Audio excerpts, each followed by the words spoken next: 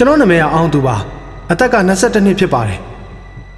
ပြီးခဲ့တဲ့အပတ်တုန်းကအဖေနဲ့မေကမိုးကုတ်ကိုရပ်ပိုင်းလောက်သွားလဲတော့ကျွန်တော်ကအိမ်မှာနေခဲ့တယ်ကျွန်တော်တယောက်တည်းဆိုတော့ချင်းနေနေတာပေါ့ကျွန်တော်ကလေးတုန်းကမိသားစုလိုက်စကန်းသွားချနေကြရေကန်ကိုသွားလဲတယ်လူသူဝေးတဲ့အရက်ဆိုတော့တောထူထတာမို့ကန်ကိုမမြင်ရသလောက်ပါပဲ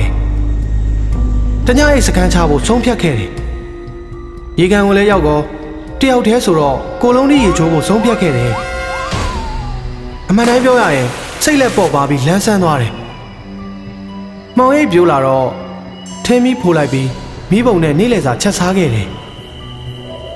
အဲ့ဒီညမှာຢာခဲ့တဲ့အခွင့်အရေးမှုတပတ်တစ်ထည်ချုပ်ပြီးကိုလုံးလေးအိတ်ခဲ့တယ်ကျွန်တော်နိုးတော့လန့်ဖြန့်သွားတယ်ခြုံအိတ်တဲ့တပတ်ကမရှိတော့ဘူးကျွန်တော်ဝစ်စားတွေလည်းရှာမတွေ့ဘူး ဒီတိုးထဲမှာငါတယောက်တည်းမဟုတ်ပါလားဆိုပြီးကြောက်သွားတာပေါ့ကံကောင်းကျွန်တော်ကားတော့ရှိနေသေးတယ်ဒါနဲ့အိမ်ပြန်ဖို့ဆုံးဖြတ်လိုက်တယ်ဒါပေမဲ့တ냐အိတ်ခီးပဲဆိုတော့အဝိစားဖို့ပါမလာဘူးဖြစ်လာတဲ့အခြေအနေကြောင့်လူမမြင်အောင်နေမမြင့်ခင်ပြန်ဖို့ဆုံးဖြတ်လိုက်ရတာပေါ့လမ်းကကျမ်းပေမဲ့လည်းတမ်းပါတယ်လေနိုင်ပိုင်းလောက်မအောင်ပြီးမှလမ်းဘေးမှာလူတယောက်ကိုလှမ်းမြင်လိုက်တယ် အဲ့လူကတိုက်လဲပြီးခေါင်းနဲ့ကြောက်တုံးနဲ့ဆောင်းမိသွားတယ်ကိုလုံးကြီးဖြစ်နေပေမဲ့လည်းကားရက်ပြီးကူညီပေးတယ်မှသိပါတယ်ဒါပေမဲ့အဲ့လူကိုတေချာမြင်ရတော့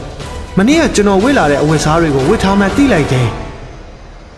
ဘာဖြစ်သွားသေးလဲဆိုပြီးလှမ်းမေးပေမဲ့အဲ့လူကတုတ်တုတ်မှမလုပ်ဘူးသူ့အနားလဲရောက်တော့အဲ့လူကကျွန်တော်လက်ကိုလှမ်းဆွဲပြီးလှည့်ကြည့်တယ်မျက်လုံးတွေကပြူးကျယ်ပြီးရီပြနေတဲ့ပုံကလည်းကြောက်စရာကြီးပါဝင်မခံချင်ပေမဲ့လည်းကျွန်တော်အရန်ကြောက်သွားတယ် ကားပေါ်မြတက်ပြီးမောင်းပြေးခဲ့တယ်။နေဝင်ချိန်မှာအိမ်ပြန်ရောက်ပြီးအိမ်တကားကိုဖွင့်ဖို့မိနစ်ပိုင်းလောက်အာယူလိုက်ရတယ်။ဟိုရေကန်ကိုထပ်မသွားတော့ပါဘူး။ဟိုလူကြီးရဲ့ရီပြနေပုံကဒီနေ့ထိချောင်းလန့်နေတော့ပါပဲ။